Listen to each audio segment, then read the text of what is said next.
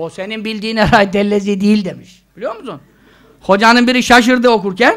Arkadaki de açıyor. Eray tellezi dedi. İleri gidemiyor. O da arkadan yükezzibi bittin diyor. Ya adam zaten kurrağımız yükezzibi bittiğinde şaşırır mı ya? Ama o da işte mübarek adam. Ne bekletiyorsun cemaati? Yükezzibi bittiğinde namazı bozacak ya. Ondan sonra Erayet ellezi diyor ilerisini getiremiyor. Dolu erayet ellezi var Kur'an'da. Eferayet ellezi kefere be hadde erayet ellezi çok. Yani ha abden izâ sallâ Erayete çok var. O erayet ellezi diyor bu arkadan yükezimi bittin diyor. Hocan da sinire bozuldun dedi. Senin bildiğin erayet ellezi değil dedi. E şimdi halbuki öyle yapmaması lazım. Onun bildiğiyle de namaz olur yani. Yükezimi bittin de devam et. Şimdi siz hep İslam şartlarını kaç biliyorsunuz? Beş, kelime-i şehadet.